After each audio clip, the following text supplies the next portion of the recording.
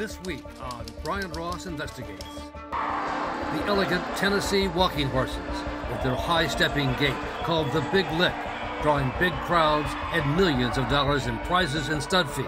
A proud tradition. But behind the scenes, the ongoing ugly secret of how those horses are scarred and sored, their legs soaked in acid and diesel fuel. So by inflicting this pain on the horses, they get the horses to step higher and they're rewarded at the shows. Correct. This trainer, caught on tape beating the horses, pleaded guilty to state and federal criminal charges and was supposedly banned for life from being part of the sport. But now he's showing up at major competitions. And for him to be sitting there is egregious. We have a saying big lick, big lie. Plus, lifestyles of the rich and infamous, a major investigative reporting coup documenting how the world's richest people hide their billions, buy their yachts, and take care of their mistresses. We're talking about some of the most famous people in the world that are in these documents presidents, prime ministers, government ministers. The Pandora Papers, pulling back the curtain. And this week's winners and losers in the media. See if you agree with the choices made by the editors of Mediaite. From the Law and Crime Trial Network, this is Brian Ross Investigates. And good evening, and thank you for joining us, and welcome to our friends on Facebook Live. I'm Brian Ross, joined as always by my colleague here at Law and Crime, Rhonda Schwartz. And Rhonda, we begin with a disturbing story about the lengths to which some people will go to win. In this case, the trainers of those famed Tennessee walking horses. They've been caught in the past beating the horses, inflicting pain, really torturing them. Despite calls for reform, it turns out the practice never really stopped, Rhonda. That's right, Brian. The Humane Society of the United States first documented the practice, but now we're learning that a ban on those caught in the act and promises of reform seem to be empty words. But a warning to our viewers some of the footage you're about to see may be disturbing. They are known as Tennessee walking horses, famed for their high stepping gait called the Big Lick, with billions of dollars in prizes and stud fees for the very best of them. But behind the scenes, there has been an ugly secret.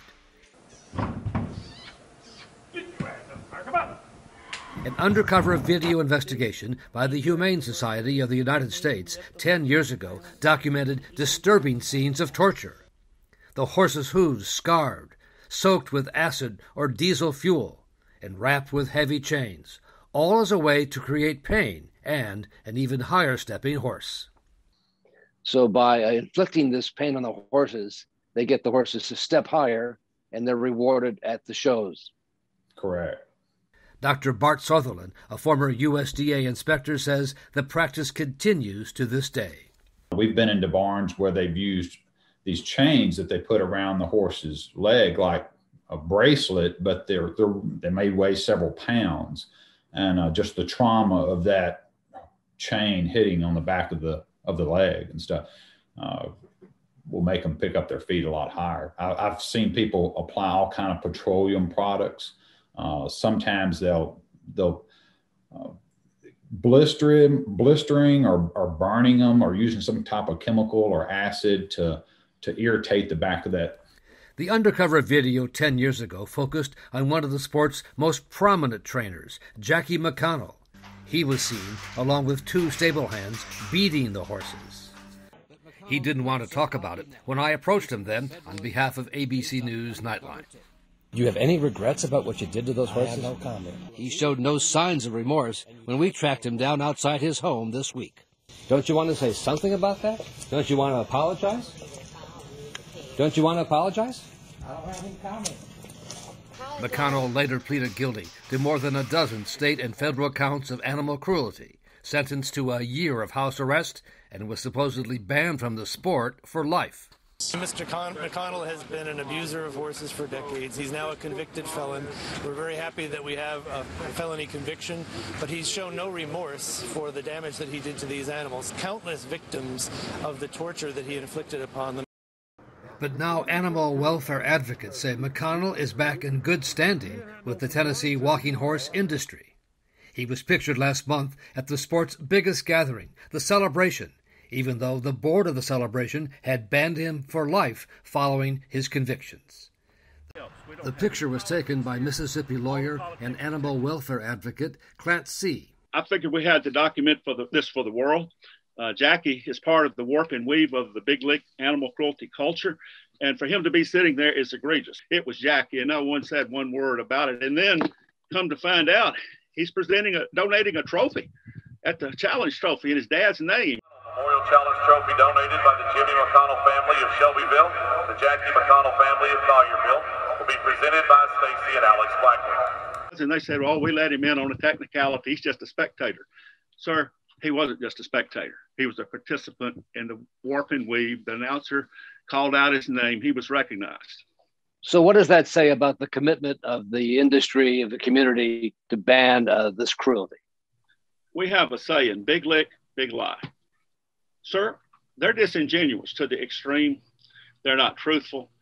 Seay showed us one of his horses, Glimmer, a one timed prize horse that he rescued from the so called soring. He was thrown away. He was on the had a one way ticket to a public auction to go to a slaughter truck in Mexico, and we rescued him. Former USDA Inspector Dr. Sutherland says while there are plenty of horse owners who won't go along with it, the practice of soring remains rampant. Very few of those cases get prosecuted. I mean, it's, you know, a small percentage of them wind up having any penalty at all. In fact, they would they would joke about it sometimes. You know, they didn't really seem to be bothered that we would write up a, a federal case. In fact, there were some some trainers that had 30, 40, you know, maybe more cases written against them and, and had yet to have a uh, any penalty received from them. And so, given that, this practice then continues and they don't have much to fear. That's correct. It must have been very frustrating for you it, it was frustrating to, to the point that I stopped doing it. Clant Seay and a group of other animal welfare advocates are still trying to draw public attention to what is happening, showing up to protest at some of the big walking horse competitions. It is absolutely abhorrent that this scourge persists, it continues, that it operates under this cloak of secrecy by this cabal that is showing here tonight. There's a lot of money involved. They don't want to stop their games. You get out of here! This past weekend in North Carolina, there were people in the crowd who weren't very happy with Clant Seay trying to take pictures with his phone. I don't care if you want me here, big boy. Get out of here. Get out of here. I love my horses. I love my mares. I even love this dude behind me. I'm just devoted to it, Mr. Ross. I don't know what else to tell you. The Tennessee walking horse should be America's horse and it, it just went astray. The Tennessee Walking Horse celebration told us that uh, Jackie McConnell was allowed there because he was only a spectator, but that in the future his name will not be recognized in the programs or on the public address systems as the sponsor of one of his family's trophies. They say, by the way, that they are leading the fight against soring and that the number of soring incidents has sharply decreased. As for Jackie McConnell, I tried to reach him today on the phone. Can you give me an idea? I'm recording this, sir. I have no comment. No comment at all about why you were there? I thought you were banned for life. I have no comment. No comment from Jackie McConnell. Coming up next, a journalistic scoop. The lifestyles of the rich and the infamous exposed by an incredible journalism investigative report. You're watching Brian Ross Investigates on the Law and Crime Trial Network.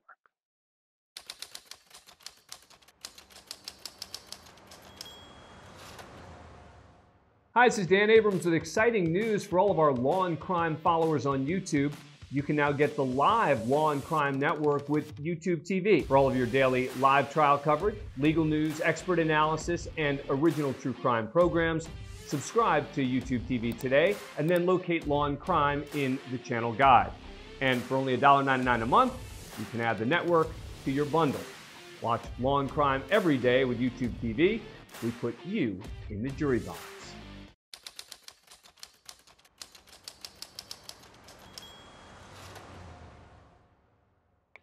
We turn now to an amazing investigative journalism scoop. created by a group called the International Consortium of Investigative Journalists. They got their hands on a treasure trove of documents, millions of documents, showing how shady financial firms helped to hide the wealth of the rich and the unscrupulous. This leak is really Panama Papers on steroids. This is the Pandora Papers because we think we're opening a box on a lot of things. We're looking at about 12 million documents from 14 different service providers. These are law firms, um, firms that set up secret offshore accounts for people in multiple jurisdictions the British Virgin Islands, Belize, Samoa. These documents, for the very first time, is actually showing the US as a tax haven itself. We're talking about some of the most famous people in the world that are in these documents presidents, prime ministers, government ministers. We're seeing them buying real estate. We're seeing them you know, trading in shares using offshore companies. They're buying houses, cars, artworks. I guess it mostly demonstrates that the people that could end the secrecy of offshore, could end what's going on, are themselves benefiting from it, so there's no incentive for them to end it. And when the stories broke, it was big news around the world, and America's late night comics had a good time with it. What?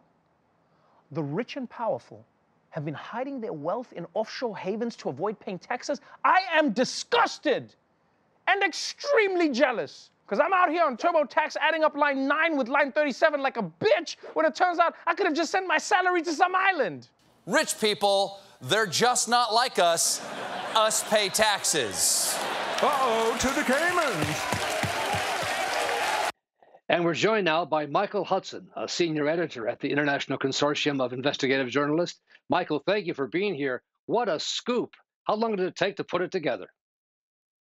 Uh, thanks for having me, Brian and, and, and Rhonda. Uh, uh, about two years. Um, uh, and it also took more than 600 journalists from 150 news outlets and 117 countries to kind of pull it off. I mean, some of our partners included the Washington Post, the BBC, the Indian Express, the Standard in Zimbabwe, and Le Desk in Morocco, and, and many, many more, and, and a lot of just smart and courageous journalists around the world who are operating in uh, countries where sometimes uh, doing investigative journalism is considered a crime.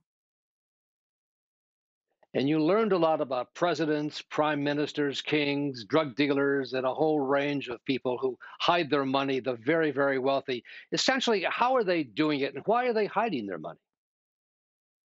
Uh, you know, there's, there's a lot of different reasons. In, in some cases, people are hiding their money to avoid taxes. In some cases, uh, people are hiding their money because it's dirty money. It's money that came from uh, uh, you know, the profits from from Ponzi schemes and other frauds, or money that's been looted from a government program.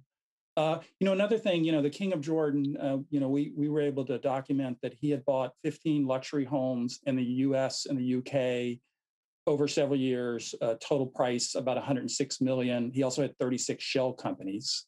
Uh, his offshore uh, providers, his offshore advisors, you know, often re- sometimes referred to him in emails simply as you know who in order to kind of keep him uh, behind the scenes. But you know what what the, the King of Jordan's uh, folks told us is, look, he doesn't he doesn't have to pay you know, by law he doesn't pay taxes in uh, in Jordan. But but uh, other experts said, you know, but he also has a very good reasons not to flaunt his wealth. First of all, if he, you know, if if, if people knew that uh, he had this kind of wealth and these kind of houses, luxury houses around the world, it would obviously uh, uh, anger many of his citizens, but it might also concern many of the governments and uh, uh aid organizations that have been, uh, you know, giving his country, which is one of the poor countries in the Middle East, uh, lots of money over the years. So there, there, there's a whole range of reasons why why people do this and why people want to want the protection and and in many cases the secret of the secrecy of an offshore company or an offshore trust. Michael, a question for you from Rhonda Schwartz. Rhonda? Michael, we know you can't reveal sources, but this is an extraordinary effort to crack one of the most secretive industries, offshore banking. What can you tell us about how the consortium was able to get their hands on all these documents? Uh, you know, I, I, can't tell you much. I can just tell you that over the years, we worked with lots of big leaks, including the Panama Papers, uh, which had a very similar impact as, as this current project. and you know we sort of built a track record. ICIJ and its partners have built a track record of being able to handle these these kind of giant leaks, protect our sources, and and break you know big and important news and hit hard on these these kind of issues. So these leaks came to us. You know, one of the differences between um, the Pandora Papers and the Panama Papers is uh, quite simply the Pandora Papers. The, the, you know the new leak is larger and more global than the Panama Papers. The Panama Papers involved one law firm based in Panama, Mossack Fonseca. Uh, the Pandora Papers involve 14 offshore providers, law firms, and other kind of companies that set up offshore structures for people, uh, really just around the world, from from the Caribbean to the uh, uh, all the way to to the Persian Gulf uh, to the South China Sea. Michael, I was struck by the fact that there weren't quite as many Americans as I thought there might be.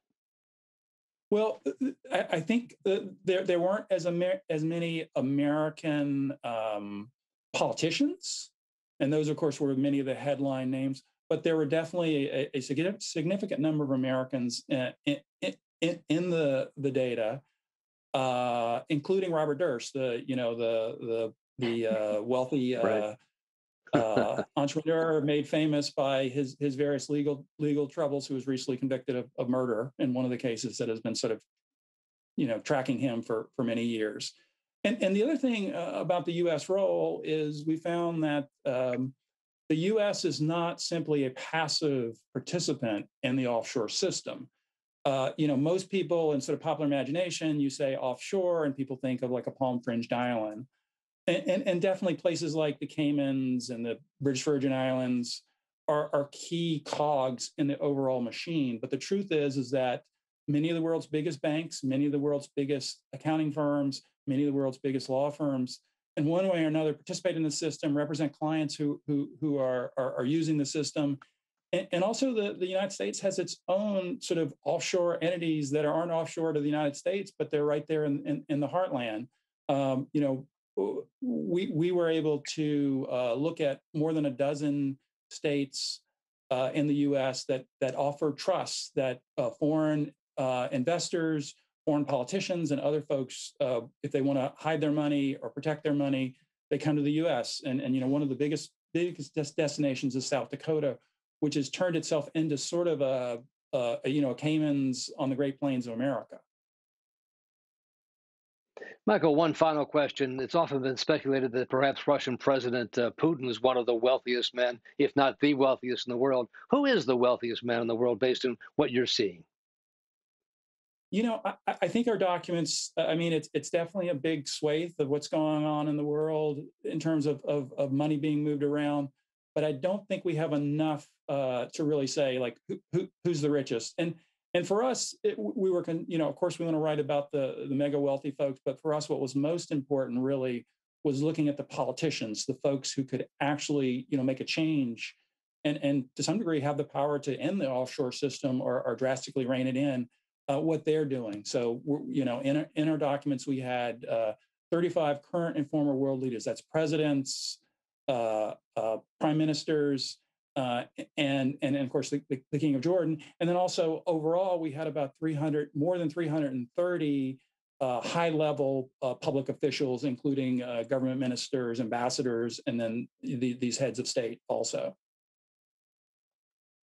All right. Well, Michael Hudson, congratulations on the investigative work. Uh, Michael Hudson, a senior editor at the International Consortium of Investigative Journalists. Thanks for being with us tonight. Uh, thanks, Brian. Thanks, Rhonda. Right. Coming up next, this week's winners and losers in the media, as chosen by the editors of Mediaite. You're watching Brian Ross Investigates on the Law and Crime Trial Network.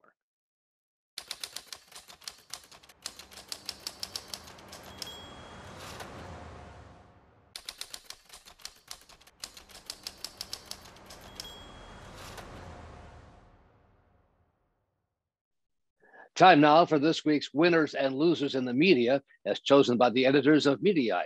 And we're joined by Aidan McLaughlin, who's the editor in chief of Mediaite, which, like the Law and Crime Trial Network, is part of the Dan Abrams media empire. And Aidan, we begin with Dana Bash at CNN. You've chosen her as your winner. technology, of Right. course, it has downsides, but it also has Right. very powerful positive effects. But, but And- my question one is of the specifically why- about January 6th. Did the algorithms that are in place amplify pro insurrection voices ahead of January 6th? Yes or no? So, quite the interview. Why was she chosen as the winner, Aidan? Right. So that was Dana Bash on State of the Union on Sunday interviewing Nick Clegg, a top executive at Facebook who has acted as a uh, one of the top spokespeople for the platform. Um, the interview has come in the wake of disclosures from Frances Haugen, a project manager at Facebook who has now turned into a whistleblower. Uh, she testified before Congress last week and called for Facebook to be regulated. Uh, one of the revelations from Haugen, uh, the whistleblower, is that Facebook helped fuel the January 6th riot at the US Capitol. Um, Bash asked Nick Clegg about that on CNN Sunday, and he failed to provide a clear answer for whether or not Facebook had a role uh, in fueling these sort of this misinformation uh, and the organization that led to uh, that riot. He basically said that Facebook has no answer as to whether Facebook played a role in the attack. Um, Dana Bash pressed Nick Clegg multiple times on the question, uh, and it made the interview, I'd say, one of the highlights uh, of the Sunday shows. Holding his feet to the fire. And for the loser this week, Sharon Waxman. Tell me about her. Right. So the Daily Beast came out with a new report over the weekend about Sharon Waxman, uh, who is the founder and CEO of The Wrap, uh, which is an entertainment and media website that uh, was launched in 2009. Um, the report found that uh, Sharon Waxman runs a toxic environment, uh, which has created a culture of fear uh, that's demoralizing and degrading to staffers. Um, so, for those who don't know, The Wrap uh, is a media and entertainment website uh, launched by Waxman, who's a veteran journalist. Uh, and she launched it to take on the, the big Hollywood trade outlets like Variety, Deadline, The Hollywood Reporter. Um, but this report from the Daily Beast found pretty shocking anecdotes. Uh, one was that she screamed at a staffer who took his wife to the oncologist um, for a cancer treatment checkup. Um, there's a number of other pretty shocking uh, allegations in the report.